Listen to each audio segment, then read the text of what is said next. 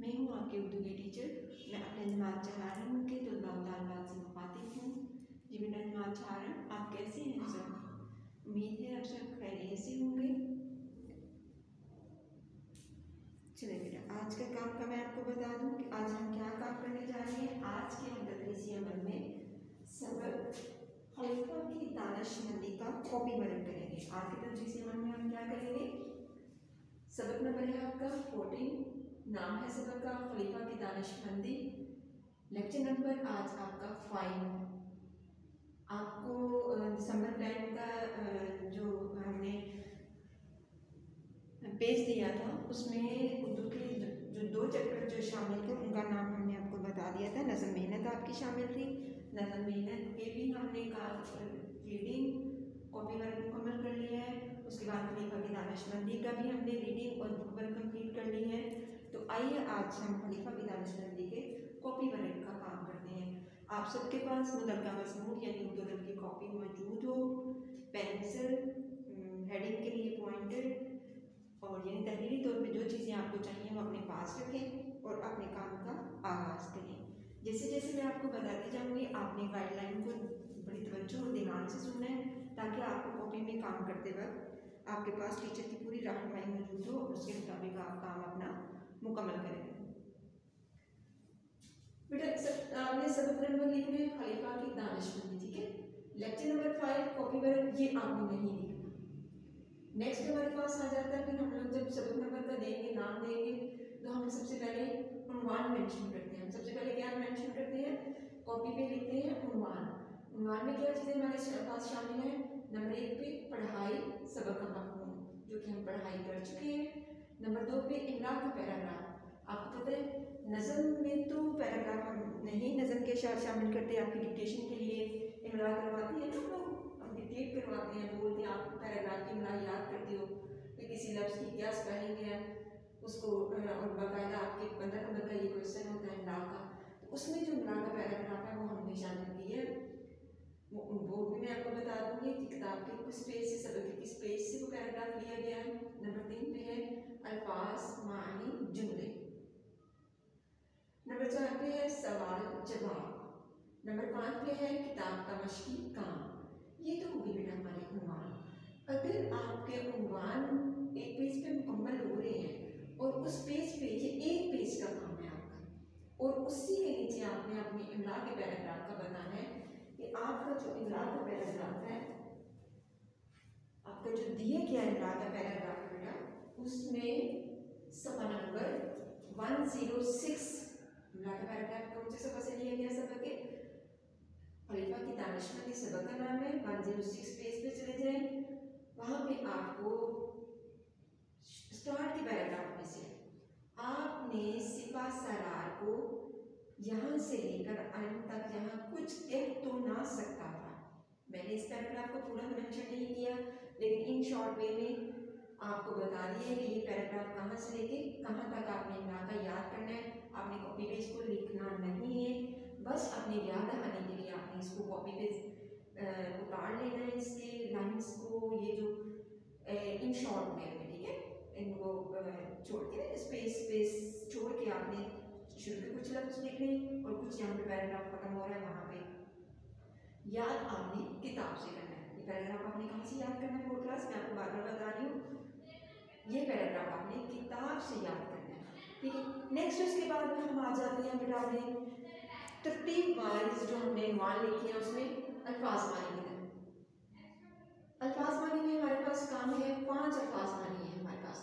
अल्फाज मानी टॉपिक करेंगे टॉपिक के बाद आप क्या पेश करेंगे? अल्फाज मानी अल्फाज मानी में जो कितने अल्फाज मानी शामिल है हमारे पास? पाँच. पाँच में से हमने नंबर एक पे है उमूर नंबर एक पे है उमूर और अमूर का मानी क्या है? काम. नंबर दो पे है तरगीब तरगीब का मानी क्या है? तरगीन नंबर तीन पे है गुजश्ता. इसका मानी क्या है? गुजरा हुआ नंबर चार पे है वासिल इसका मानी क्या है? मजबूर. नंबर पाँच पे फला इसका मानी क्या है? भला ये पाँच अल्फाज मानी आपने अपनी कॉपी पर लिख रहे हैं और ये आपके दूसरे पेज का काम है। ये आपका एक पेज का काम है, ये आपका दूसरे पेज का। नंबर दो यानी दूसरे पेज का काम है उसमें सिर्फ़ अल्फाज मानी हूँ। काम को अपने सफ़ाई से अपने लिखाई के कवायद का ख्याल रखते हुए अपने काम को लिखना है। अगर आप लाइन छोड़ के लिखेंगे, तब ठीक अगर आप लाइन ना छोड़े तो बहुत बेहतर है। अगर आपके उस पेज में इतनी स्पेस बनती है कि आप उसके नीचे से जुमले स्टार्ट कर सकते हैं तो फिर आप कर सकते हो, ताकि और वहाँ से भी नेक्स्ट पेज पे चले जाना। ये तो हो गया बेटा हमारा अल्फाज मानी। अल्फाज मानी करने के बाद आपने अल्फाज जुमले का काम करना है। अल्फाज मानी करने के बाद आपने कौन सा काम करना है? अल्फाज जुमले का काम करना है। अल्फाज जुमले आपके पास कितने हैं? पाँच। One two three four five ये नंबर आपने ज़रूर लिखना है आपने जब ये अल्फाज लिखेंगे सबसे पहले जो लफ्ज़ हम जिसका जुमला बनाने जा रहे हैं, वो है सादा। जुमला, मैंने सैंपल दी है, आपको नमूने के तौर पे जुमला बना दिया है, आप अपनी तरफ़ से भी अपना जुमला बना सकते हैं और बहुत ज़्यादा ये चीज़ हम इसको अप्रिशिएट करते हैं। आपको इस चीज़ पे बहुत ज़्यादा बार बार फोकस भी करते हैं, आपको ज़ोर भी देते हैं कि आप अपनी तरफ़ से ज़रूर ये लिखाई का काम जो है, हम आपको कुछ मेन चीज़ें देते हैं, उसमें आप खुद अपने शामिलियत किया करें। जुमला आप खुद भी बना सकते हैं। मुझे सादा रहना पसंद है, लेकिन लफ्ज़ यही हो, ठीक है? लफ्ज़ यही हो, जुमला आप खुद बना सकते हैं। खर्च, नंबर दो पे क्या खर्च। हमें अपनी आमदनी के मुताबिक खर्च करना चाहिए। ऐसा जुमला बनाए जिसमें आपके लिए नसीहत भी हो, जिसमें आपके लिए नॉलेज की बात भी हो। ऐसे और जुमला बनाते वक्त अभी आप जो कि छोटे हो, जब आप उसको फाइनल करने लगते हो तो आपने किसी बड़े से आप उससे ज़रूर उस बारे में आप रहनुमाई ले लें कि मैंने ये जुमला बनाया है ठीक है, इसके स्पेलिंग दुरुस्त हैं। देन आप फाइनल कॉपी पे अपनी कॉप कॉपी पे उसको बता उतारें। नंबर तीन पे भूख। हमें हमेशा भूख रख कर खाना खाना चाहिए। ये बहुत ज़्यादा सेहत के हवाले से एक बहुत मुफीद बात है। कि हम खाना उस वक्त तक नहीं खा सकते जब तक हमारा पेट जो है वो, हम सॉरी हम खाना उस वक्त तक नहीं छोड़ते खाना खाने से जब तक हमारा पेट नहीं जवाब देता। हम इतना फुल होकर खाना खाते हैं। लेकिन अगर सेहत के हवाले से देखा जाए तो हमेशा क्या करना चाहिए कि अभी हमें और तलब हो खाने की थोड़ी सी। अभी हमारा पेट फुल ना भरा हुआ हो।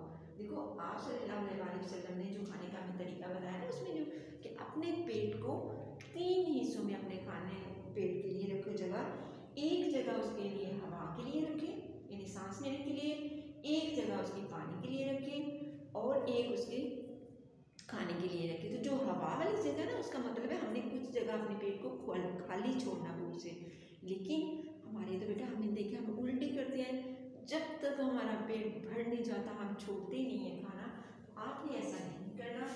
आज से अगर आपको आदत नहीं भी है आप हमेशा, अभी आपको तलब हो, आपको पता चल जाता है कि हम अभी और खाना खा रहे हैं तो थोड़ा से भूख छोड़ दें ठीक है कभी भी फुल पेट भर के, जैसे आपको चलना फिरना मुश्किल हो जाए तो मत खाएँ।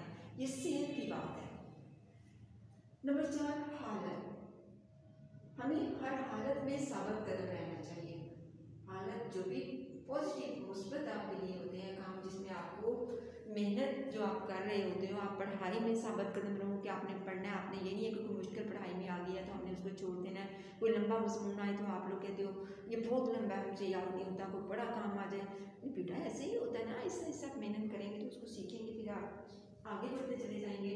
तो हालत का जुमला आप खुद भी बना सकते हो। इसके अलावा, लेकिन ये मैंने आपको सैंपल के लिए जुमला बना दिया, अहद अहद तोड़ना बुरी आदत। दूसरी चीज़ जो आप जुमलों के अल्फाज हैं इनकी माने को भी समझ के आपके सामने नज़र रखना है कि जब मैं जुमला बना रहा हूँ, क्या उसके मुताबिक भी है? आप जुमला तब तक तरतीब नहीं दे सकते जब को, जब तक आपको इसका मफहूम का इसके माने का नहीं पता होगा। अगरचे हम माने तो नहीं जुमलों में आपको करवा दें, लेकिन आपने जुमला बनाते वक्त इस चीज़ का ख्याल रखना है। तो लास्ट में ये वर्ड क्या है?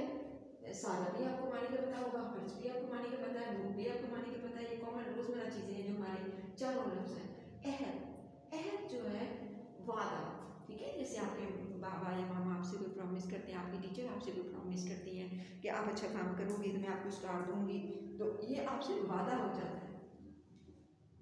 हमारा इस्लाम भी अहद की पाबंदी को बहुत ज़्यादा जो है इस पर ज़ोर देता है कि हमें अपने अहद को पूरा करना अगर ये या तो वादा किसी से अपना देख के करेंगे, हम ये काम कर भी सकते हैं, नहीं कर सकते अगर हम नहीं कर सकते तो उससे झूठा वादा मत करेंगे उसको तसलियाँ देंगे मैं ये कर दूँगा कर दूँगा, नहीं। ऐद का मतलब क्या है? वादा ऐद तोड़ना बुरी आदत है। वादा तोड़ना क्या होती है? बुरी आदत होती है। इसमें इंसान फिर भरोसा नहीं रहता एतमाद नहीं रहता एतमाद उठ जाता है।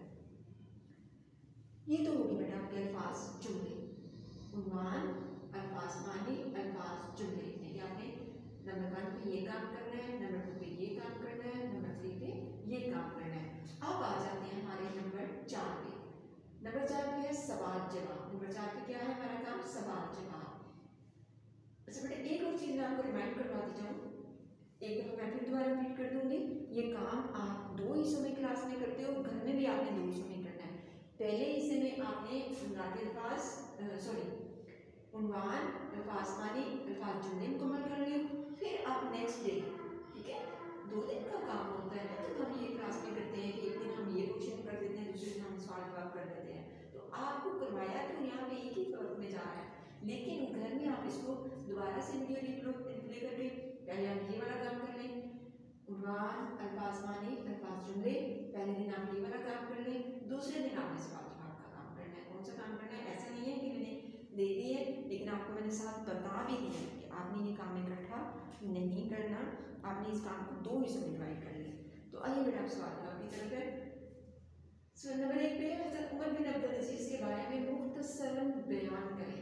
सवाल को समझा करें। जब तक आपको सवाल समझ नहीं आएगा, आप उसके जवाब का डिफरेंस या उसमें फ़र्क नहीं, क्योंकि आपने और भी बहुत सारे जवाब याद किए होते हैं। और जवाब, सवाल के लिए जवाब का ख्याल रखना बहुत ज़रूरी है। सवाल का समझें और फिर उसके बाद आप जवाब लिखना शुरू कर दें। ऐसा नहीं होगा किसी और सवाल के आप किसी और में दे दें। हज़रत उमर बिन मैं सबसे पहले आपको जवाब पढ़ के बता दें मैं आपको एक्सप्लेन कर देती हूँ। हज़रत उमर बिन अब्दुल अज़ीज़ बहुत नेक और सारे इंसान और हुक्मरान थे। वो बहुत इबादत, गुजार थे अपने हकूमती उमूर को भी बहुत ज़िम्मेदारी से सर अंजाम देते फजूल खर्ची को नापसंद फरमाते खलीफा बनने के बाद उन्होंने बहुत सारा ज़िंदगी गुजारी वो अपनी रियाया की ये लफ्ज़ है अपनी अपनी रियाया ठीक है मोनस बढ़िया कहेगा क्या लफ्ज़ आएगा अपनी नीचे लेके वो अपनी रियाया की फलाह का ख्याल रखने वाले थे ये हमने मुख्तसर मुख्तसर ने बनाया अब मैं आपको बहसीत बहसीत इंसान बहसीत इंसान नेक और सालिया माने दोनों सेम है, ठीक है? लेकिन लफ्ज़ में खूबसूरती पैदा करने के लिए ये लफ्ज़ अक्सर हम बोल देते हैं। हज़रत उमर बिन अब्दुल अज़ीज़ वो डिटेल से मैंने आपको बताया था। बहुत यानी अगरचे आपका दौरे खिलाफत जो है, वो बहुत बाद का है। और दूसरा मैं बता दूँ, हज़रत उमर बिन अब्दुल अज़ीज़ के साथ रे और जवाब जो छोटा सा अंदाज है, रज़ी अल्लाह तला को इनके साथ हमेशा आपने रे और हेड लगाना आपने क्या लगाना इनके साथ? हमेशा रे और हेड लगाना होता आपने उनके लिए रे और हे इसका मतलब होता है रहमतुल्लाह अलैह। क्या मतलब होता है इसका? मैंने इसलिए कि आपको इंडिकेट करने के लिए बता दूँ कि हम क्या इसमें लिखते हैं? रहमतुल्लाह अलैह। क्योंकि रसी अल्लाह हमसे उन सहाबा के साथ लगाते हैं जो आप सहाबी का तो मतलब आपको पता है कि सहाबी कौन है जिन्होंने आप सल्लल्लाहु अलैहि वसल्लम को देखा हो और ईमान की हालत में आप वसल्लम के साथ रहे वो क्या है? सहाबी। तो आप सहाबी नहीं थे, बल्कि आप बहुत बाद की आपकी पैदाइश है।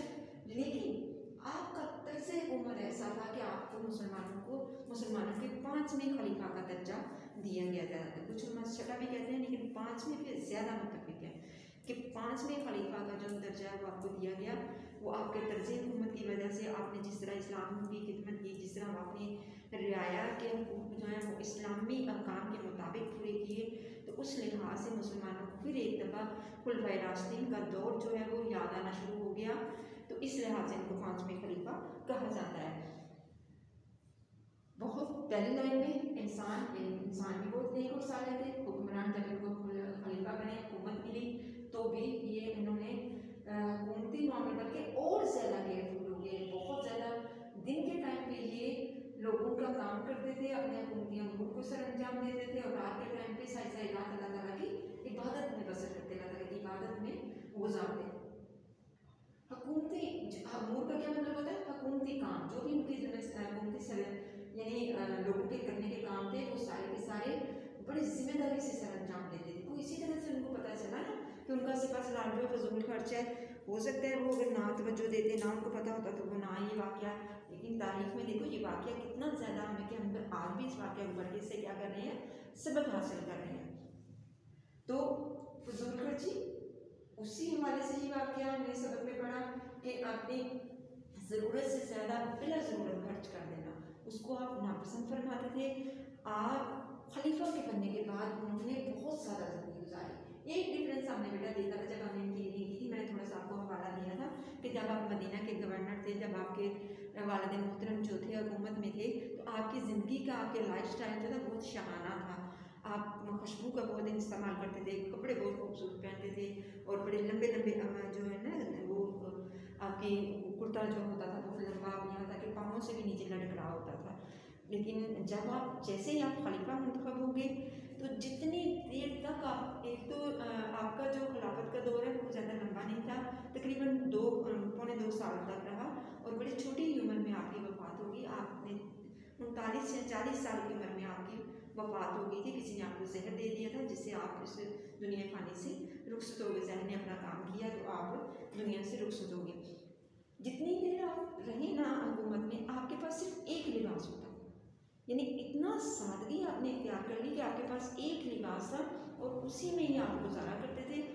जब वो गंदा हो जाता, आप उसको उतारते और उसको धो लेते, फिर दोबारा उसको पहन लेते यहाँ तक कि आप जब बहुत बीमार हो गए आखिरी वक्त में जब बिस्तरे मर के यानी बिस्तर आपका जहर ने जब दिया तो जहर ने काम करना शुरू किया, आप बिल्कुल इस हालत में होंगे कि सब ना उम्मीद हो गई कि अब तो बिल्कुल उनकी ज़िंदगी ख़त्म होने वाली है। तो आपके जो बीवी के जो भाई हैं, उन्होंने कहा कि आपकी खलीफा के जो कुर्ता जो पहना हुआ ये बहुत गंदा है तो कोई और कुर्ता दो, ताकि हम इनको चेंज करा दें। तो उनकी बीवी ने जवाब दिया कि खलीफा के पास तो कोई और लिबास ही नहीं था। इतनी सादा ज़िंदगी फिर आपने गुजारना शुरू कर दी। और यूँ जो हम उनका वो शहाना दौर पढ़ते हैं, गवर्नरी का शहाना दौर पढ़ते हैं खलीफा बनने के बाद आपने सब कुछ ख़त्म कर दिया, अपना बेच भी दिया, सब उसमें जमा करवा दी पैतरपाल में और इसी तरह आपके बच्चों के बारे में भी अगर आप पढ़ें खुद से बल्कि मैं कहती हूँ गाजा खलीफा उमर बिन अब्दुल अज़ीज़ के बारे में पढ़ें और ये हमारे हमारे वो अजीम शख्सियात हैं जिनसे हमें अपने ज़िंदगी के बारे में कुछ ना कुछ तब्दीलियाँ मन में आती हैं, हम इनको पढ़ते हैं कि कैसे इन्होंने अमली तौर पर हमारे लिए नसीहतें छोड़ी हैं कि हम उन पर अमल कर है ये तो कुछ सादगी से मैंने वाक्य आपको बता दिया कि आप कितने सादा थे, क्या आपके हालात थे, किस तरह के सादा थे, कि आपके पास एक ही लिबास था और जितने देर आप हुकूमत में रही आप उसी लिबास को धो लेते उसको पहन लेते। उसके बाद है, वो अपनी रियायत की फलाह का ख्याल रखने वाले थे। जितने आपके लोग थे, आपकी सल्तनत के, हर एक बंदे की उनको फ़िक्र होती थी कि फलां जगह पे और बहुत अच्छे तरीके से अंदाजे हुकूमत जो है बिल्कुल हज़रत उम्र फ़ारूक वाला था। कहते हैं, आपके ज़माने में भी हज़रत फ़ारूक रज़ी अल्लाह के ज़माने में भी मुसलमान सल्तनत में बहुत खुशहाली आई थी और हज़रत उमर बिन अब्दुल अज़ीज़ के ज़माने में भी, जो रहमत का ज़माना था, उनके ज़माने में भी मुसलमान ने बहुत खुशहाली देखी। नंबर दो पे आते हैं। हज़रत उमर ने फौज के सिपा सलार को क्या पैगाम भेजा? आप रहमत ने फौज के सिपा सलार को पैगाम भेजा। सिपा सलार ने बताया था, वो क्या होता सिपा सलार फौज का कमांडर, जो सिपाहियों का सरबराह होता है, वो क्या होता है? सिपा आपने फौज के सिपा को पैगाम भेजा कि तुमसे ज़रूरी बात करनी है। सिपा को क्या पैगाम भेजा कि तुमसे ज़रूरी बात करनी है, इसलिए आज दोपहर का खाना मेरे साथ खाओ। हमने सिर्फ़ वही वाली बात लिखनी है जो कि खलीफा का पैगाम था। कौन सा? जो खलीफा का पैगाम था, हमने सिर्फ़ वही बात जो है वो लिखनी है, बतानी है। नंबर तीन हम किस तरह फजूल खर्ची से बच सकते हैं? ये पूरे का पूरा ऐसे ही कोटेशन में आपने इन्वर्टेड कोमा डाला है इन्वर्टेड कोमा का तो आपको पता है, कौन से हम दो कोमे उल्टे डालते हैं, और यहाँ पे हमने उनको फिर सिक्स की तरह छोटा छोटा दो डाल देंगे, और यहाँ पे हमने वो कहीं भी बात को पूरी जो किसी की कही बात है, उसको एज किसी हमने उसका ज़िक्र करना होता है। तो यहाँ पे हमने हज़रत उमर बिन, हज़रत उमर रहमतुल्लाह का जो पैगाम था उमर बिन अब्दुल अज़ीज़ का वो हमने वैसे ही कि उन्होंने खलीफा को पैगाम भेजा कि तुमसे ज़रूरी बात करनी है इसलिए आज दोपहर का खाना मेरे साथ खाओ यही बात हमने कही थी। नंबर तीन पे हम किस तरह की ज़रूरत से बात सकते हैं? अरे, ये हमारे लिए बहुत सबक और सीखने वाली बात है। अगर हम सादा ज़िंदगी गुजारें, अगर हम सादा ज़िंदगी गुजारें, खाना, लिबास और रहाइश को सादा रखें, यानी इसमें हमारी नमूद नुमाइश ना हम ये ना दें कि हमारे पास ये कपड़ा जो हमने पहले पहना हुआ है, किसी ने देख लिया, हमने दोबारा नहीं पहना नया लिया है। नहीं, ऐसा कुछ नहीं करना आपने। अपने खाने को सादा रखना है क्योंकि आपको पता है जितना हम लोग लजीज खाना या मज़े के खाने, उसमें खर्चा भी ज़्यादा आता है, उसके साथ साथ हमारी सेहत पे भी वो चीज़ असर नहीं करती। जितनी हम सादा खाना खाएँगे, पहले वाले लोग हमारे क्यों सेहतमंद थे क्यों इतनी बीमारियों का शिकार नहीं होते थे? क्योंकि उनका खाना, उनका लिबास, उनकी रहाइश बिल्कुल सादा थी उसमें कोई नमूदा नुमाइश नहीं थी, उसमें कोई इलेक्ट्रिसिटी की ऐसी चीज़ें नहीं थी, ये जो बिजली है ना, ये भी हमारे ऊपर बहुत ज़्यादा नेगेटिव असर छोड़ती है तो लिबास इसको सादा रखें, यहाँ तक हमने किया था, आगे हम बिना ज़रूरत चीज़ें ना खरीदें बिना ज़रूरत, यानी अगर चीज़ की ज़रूरत आपके पास पड़ी हुई तो बेटा पहले हमें उसको इस्तेमाल करना चाहिए, फिर हमें अगर नई चीज़ की ज़रूरत है तो खरीदें वरना आजकल देखिए, आजकल तो हमारा उल्टी के साथ हुआ हुआ है। हमारी हर चीज़ बहुत मिकदार में हमारे घरों में पड़ी होती है। हम उसको छोड़ के एक नई और ले आते हैं और फिर उसके रखने की जगह नहीं मिल रही थी या तो बड़ी बड़ी बेचारी खराब हो जाती है या उस पर उसको हम बाहर फेंक देते हैं इसी तरह हमारे पास कपड़ों की कलेक्शन जूतों की कलेक्शन और बहुत सारी चीज़ों की कलेक्शन घर के सामान की कलेक्शन तो ज़रूरत से बहुत ज़्यादा चीज़ें हमारे पास होती हैं तो हमें बिना ज़रूरत चीज़ों को देखिए अपने घर की चीज़ों को एक दफ़ा जायज़ा लें सफरों से भी गुजारिश है कि वो अपने घर की चीज़ों का एक दफ़ा जायज़ा लें इस तरह ना तो हमारे घर में सफ़ाई का बाकायदा माहौल होगा और ना ही हमें चीज़ें संभालने में जो है वो कभी समझ आएगी कि हमने कैसी चीज़ों को किधर रखना है। उसकी ज़रूरत की चीज़ें रखी क्योंकि मैं ये भी बता दूँ बेटा आपको कि हमेशा हमारे पास जो भी चीज़ होगी, जो हमारी मलकियत में होगी, जिसके हम जो ज़रूरत जो हमारे यानी इस्तेमाल में होगी, उसके बारे में हमें पूछा भी जाएगा जो हमारे पास जो चीज़ होगी ना उसका हमको फ़ायदा हिसाब किताब होगा तो हमारे पास इतना सामान है हम तो रहेंगे हिसाब किताब देते आपको पता कितना कितना ढेरों सामान हमने अपने घरों में जमा किया हुआ है। तो उसकी बजाय किसी ग्रुप को ज़रूरतमंद को उसको दें।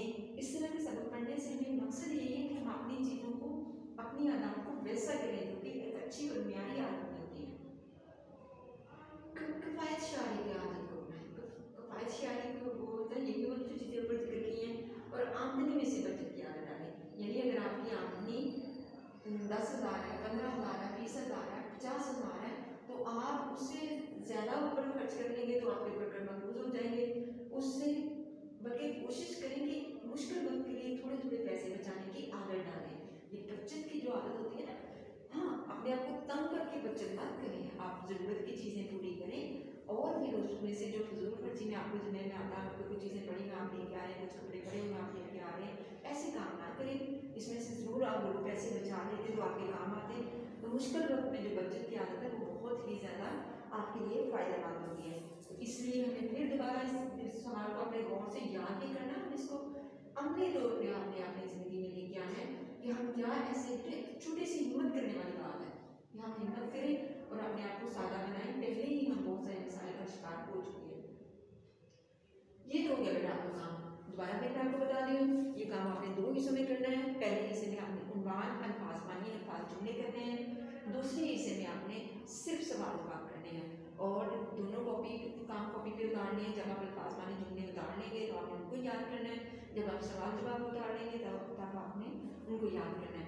घर का काम वही मैंने आपको दिया ये सारा करता से लिखा गया, काम घर का कॉपी पर लिखिए उसे याद करें, ठीक है? और काम जो है वो आपने सफ़ाई से करना है। काम को बिल्कुल आपने गंदा नहीं करना।